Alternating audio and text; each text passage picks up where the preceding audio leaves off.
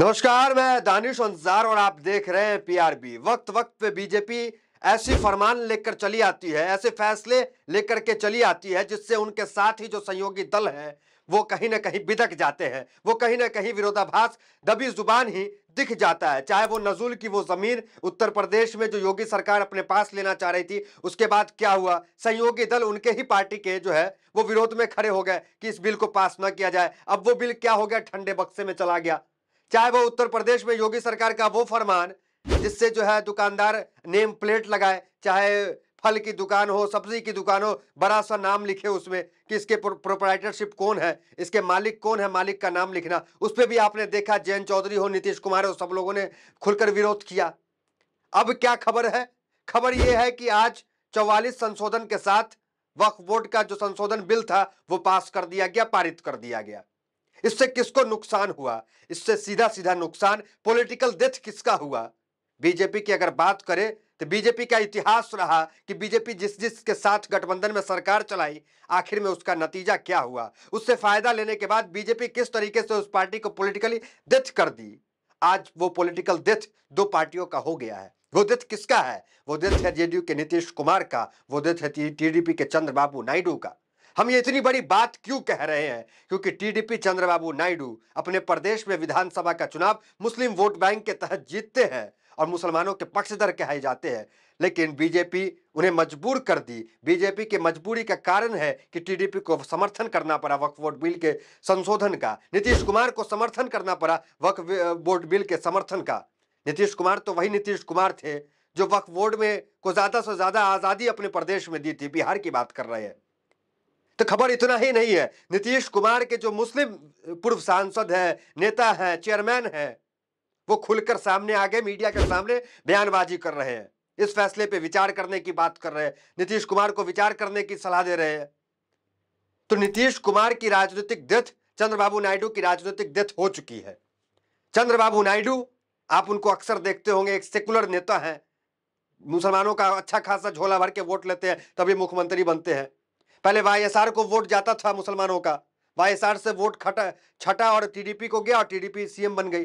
मुसलमान का जिधर वोट मिलता है आंध्र प्रदेश में वो सीएम होता है। अभी चंद्रबाबू नायडू को वोट मिला, क्योंकि चंद्रबाबू नायडू मुसलमानों के लिए मुखर होकर के बोलते थे। आरक्षण की बात चंद्रबाबू नायडू करते थे। कि आरक्षण मुसलमानों का जारी रहेगा इस तरह का बयान? जब प्रधानमंत्री मोदी से वो मिलकर गठबंधन करके आए, उसके बाद भी उन्होंने दिया। मुसलमानों के दावत में, चाहे वो रमज़ान की बात हो, नमाज़ पढ़ते हुए भी देखे जाते थे चंद्रबाबू नायडू। मतलब इतने कट्टर मुस्लिम समर्थक किन मजबूरियों के तहत आज वक्फ वोट का जो है, संशोधन का जो बिल का जो है, समर्थन कर दिए। तो कहीं ना कहीं इनकी राजनीतिक दिथ पॉलिटिकल कैरियर का राजनीतिक दिथ हो गया। एक लंबा लिस्ट है, वो भी आपको बताएँगे कि बीजेपी ने किसको किसको खत्म करने का काम किया। नीतीश कुमार की वही स्थिति आने वाले समय में विधानसभा का चुनाव है और नीतीश कुमार के मुस्लिम नेता का इस तरह का बयान आना और वो साफ़ इशारा कर रहे हैं नीतीश कुमार को कि मुसलमान इससे बिदक लालू प्रसाद यादव के पास चले जाएँगे। लालू यादव के हो जाएँगे मुसलमान। सबसे पहले आप वीडियोस देखिए गुलाम रसूल बलियावी। उनकी वीडियोस देखिए, जेडीयू के पूर्व सांसद है। उन्होंने क्या बयान दिया मीडिया से? दो मिनट की क्लिप है, आप देखिए उसको। देश का वो कौन सा बड़ा शहर है जहाँ वफ की प्रॉपर्टी नहीं है और उस पर गवर्नमेंट का कब्जा नहीं है? उसको वापस कर दीजिए, इसका बिल ले आइए।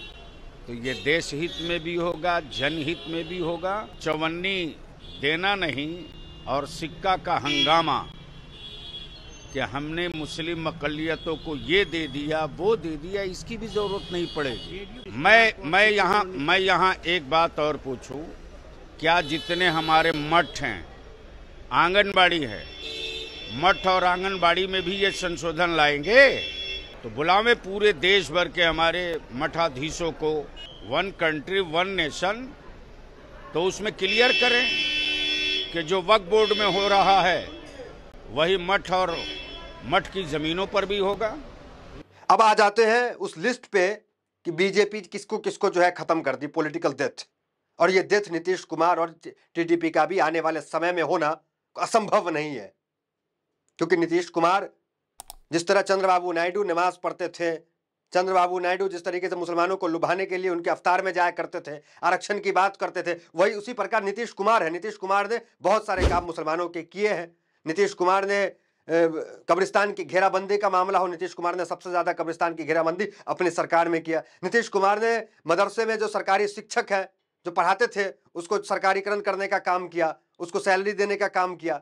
तो नीतीश कुमार मुसलमानों को लुभाने के लिए इन तमाम काम को किए, लेकिन इन तमाम काम पे पानी फिर गया। आज जब संसद में नीतीश कुमार के सांसद ने इस बिल का समर्थन कर दिया। देखिए कौन कौन से पार्टी और भी नीतीश कुमार के कौन कौन से नेता हैं जो इस बिल के खिलाफ खड़े हो गए हैं, इस बिल पे बोल रहे हैं, उसकी चर्चा करेंगे। हालाँकि सांसद ने तो समर्थन कर दिया। नीतीश कुमार किस मजबूरी के तहत समर्थन की नहीं पता, लेकिन 2025 में यह साफ़ हो जाएगा कि नीतीश कुमार का क्या ये जो लिस्ट आप ऊपर देख रहे हैं, जिसमें खाली जगह है क्या अगला नाम नीतीश कुमार का होगा जो बीजेपी जिन्हें दित कर देगी पॉलिटिकली अब बीजेपी के नेता का इस तरह का बयान भी आपको पता है। पूर्व केंद्रीय मंत्री अश्वनी चौबे ने क्या कहा था? आने वाले समय 2025 में बिहार में बीजेपी बड़े भाई की भूमिका में चुनाव लड़ेगी। मतलब नीतीश कुमार छोटे भाई मतलब मुख्यमंत्री के पद से नीचे। बीजेपी चुनाव लड़ेगी बड़े भाई की भूमिका में। अब देखिए लिस्ट देखिए parties that died because of BJP. देखिए लिस्ट शिवसेना, देखिए NCP BJD YCP JDS BRS AIADMK Akali PDP GJM RLP इनका भविष्य क्या हो गया?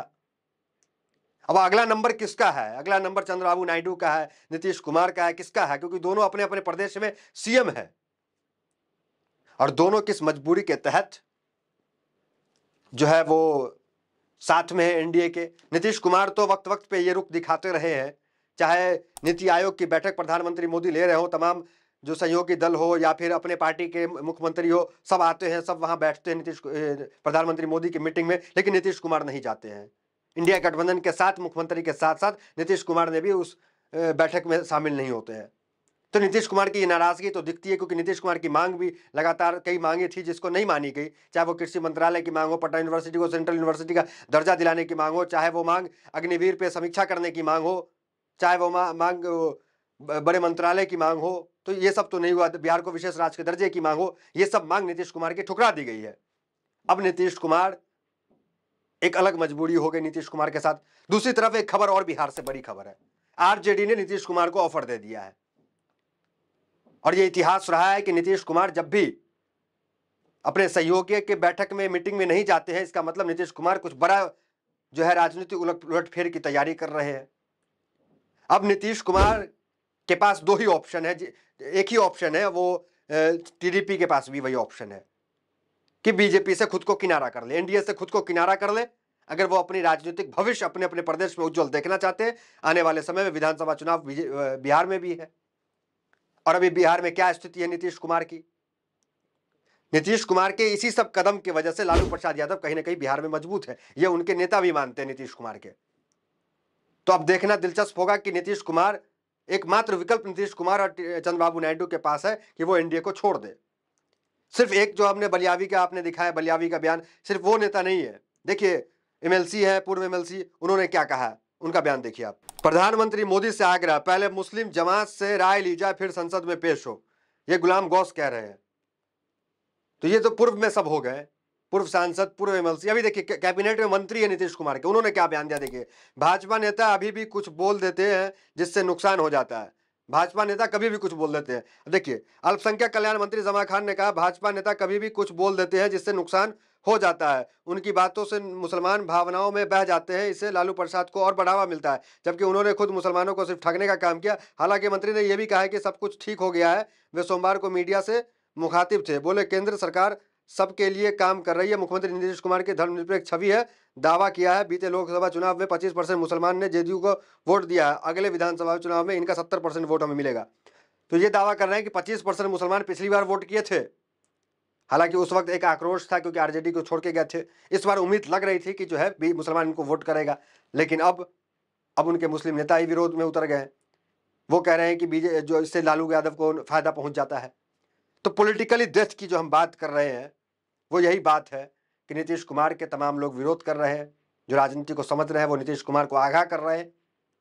क्या पॉलिटिकल करियर इनका होने वाला है, ये तो वक्त ही बताएगा और आने वाले समय चुनाव में ही पता चलेगा। तो फ़िलहाल इस खबर में इतना ही, मिलता है अगले वीडियो से बने हमारे साथ। बहुत बहुत धन्यवाद।